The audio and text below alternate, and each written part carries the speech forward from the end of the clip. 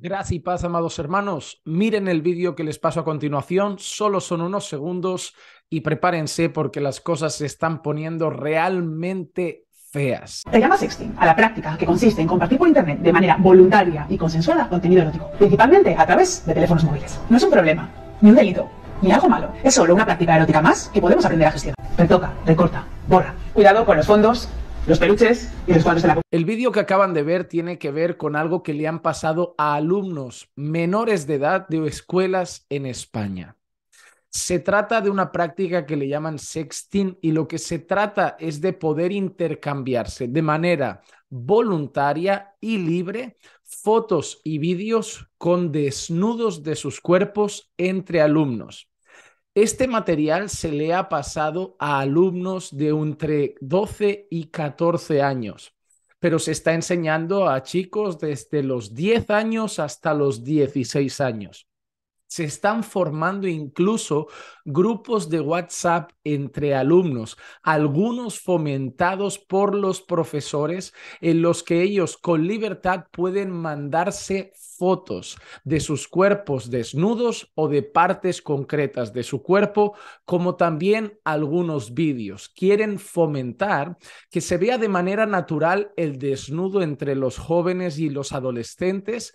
Quieren fomentar que ellos, si son libres y voluntarios de hacerlo, puedan intercambiar ese tipo de contenido entre ellos. Y usted dirá, pero Juan Manuel, ¿Cómo sabes que eso eh, lo están pasando a niños pequeños? ¿Cómo sabes que lo están pasando en las escuelas? Yo les voy a dar más de un motivo. El primero es que ese material lo han pasado unos padres, unos padres alarmados porque se lo había comentado su hijo que un profesor de su escuela se lo estaba explicando y que ya algunos alumnos movidos por el profesor estaban haciendo ese grupo de WhatsApp para poder intercambiarse ese contenido. Número dos, ¿no les parece curioso que en el vídeo donde habla esta mujer eh, está diciendo que tengan cuidado con los peluches y cuidados con las fotos de la comunión?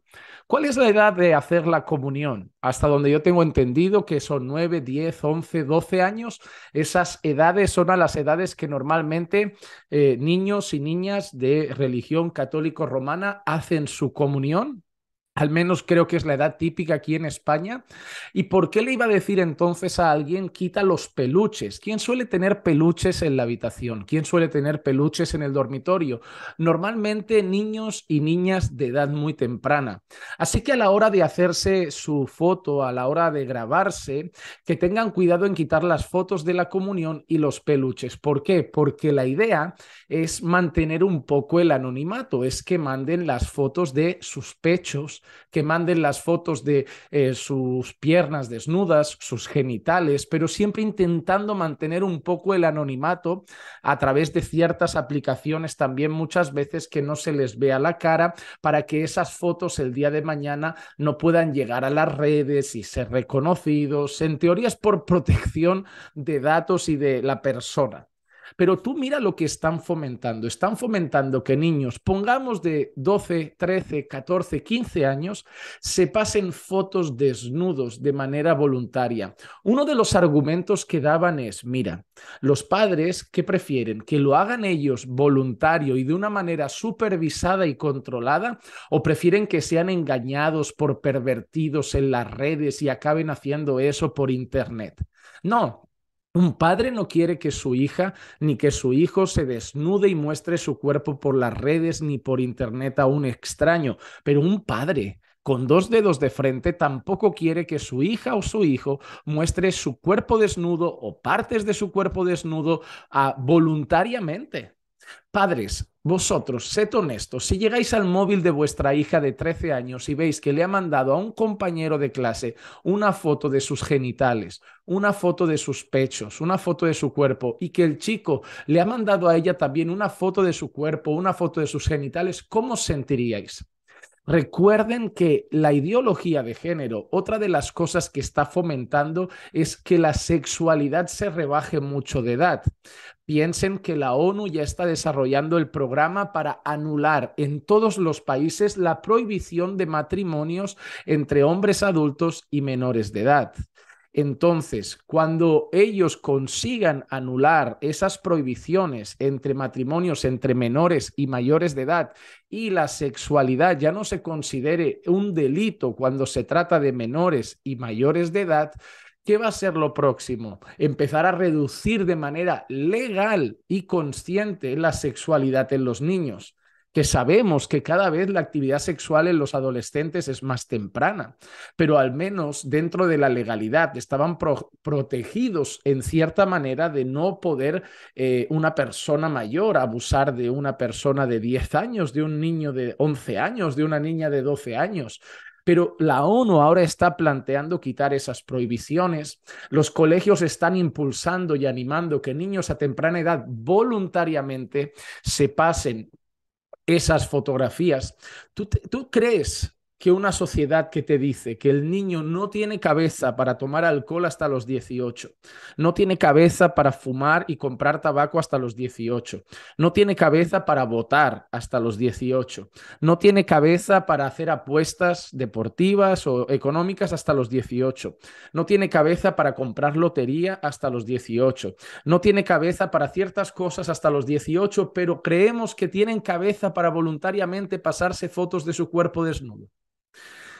Padres, lo vuelvo a decir y lo repito y lo repetiré. Cada día es más peligroso que sus hijos pertenezcan a escuelas públicas. Cada día es más peligroso que sus hijos pertenezcan a escuelas concertadas. Cada día es más peligroso que su hijo tenga un poco de dominio el gobierno sobre su vida poner la vida de sus hijos en las manos de organismos públicos significa que su hijo va a ser adoctrinado por el colectivo LGTB, significa que su hijo va a ser adoctrinado por el feminismo, significa que su hijo va a ser sexualizado, significa que su hijo le van a enseñar que usted no tiene como padre ninguna autoridad, ningún poder sobre ellos y que ellos son libres y tienen su plena autonomía desde que son niños dejar a sus hijos en las manos de instituciones públicas o reguladas por el gobierno solo va a conseguir que sus hijos queden adoctrinados totalmente por este mundo. Que sus hijos cada vez sigan más las corrientes lascivas de este mundo y lo hagan cada vez a una temprana edad. Padres, yo les ruego que abran sus ojos y que empiecen a hacer algo. Esto que les acabamos de pasar es un vídeo de aquí de España, pero esto ya ha pasado en otros países de Europa y se está extendiendo esa práctica entre escuelas de todo el mundo. Niños y niñas de 10, 11, 12, 13, 14 años que se pasan fotografías. Ah, y lo más triste y qué curioso que en esto los pederastas y los pedófilos estarán muy contentos. Y es que algunos profesores podrán participar de esos grupos con la idea de supervisarlos y darles un poquito de, de, revisión al grupo. Los profesores también podrán participar y podrán participar también enviando y recibiendo fotos. Así que prepárense porque dentro de nada su niña de 13 años le estará mandando fotos de sus pechos al profesor de historia de 50 años su hijo de 13 años estará mandando fotos de sus genitales a la profesora de literatura de 50 años y los padres se van a empezar a llevar las manos a la cabeza y tener lágrimas en los ojos cuando ya sea demasiado tarde. ¿Saben cuándo normalmente reaccionamos?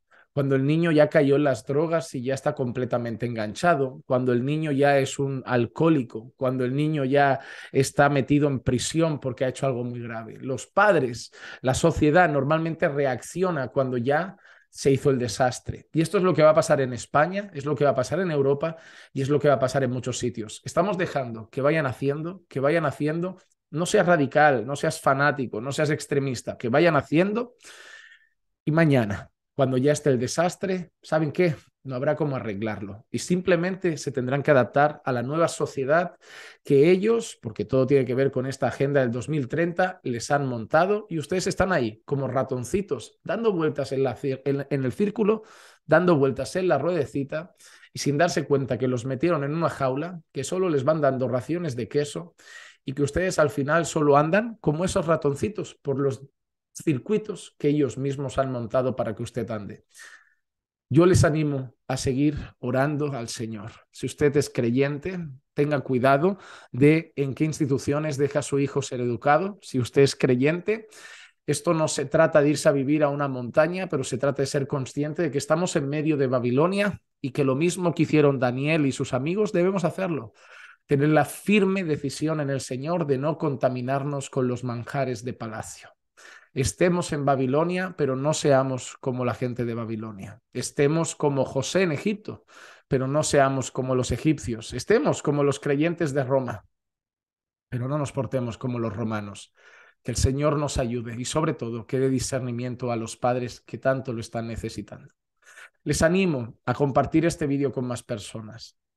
Quizá mis argumentos no les parezcan mucho de peso, pero les pediría, por favor, que pasen este vídeo, porque algo que he aprendido es que cada vídeo a veces llega a personas que dicen, wow, Juan Manuel, gracias, porque de verdad se me encendió el chip, se me encendió algo aquí que me dijo, no, hay que ponerse a hacer algo ya, hay que poner freno ya, hay que tomar decisiones ya. Yo por eso les ruego, comparte este vídeo llévalo a más personas para que otros puedan escuchar las tristes realidades que están entrando en las escuelas mientras los padres solo trabajan y pagan y no se dan cuenta de lo que van a hacer con sus hijos.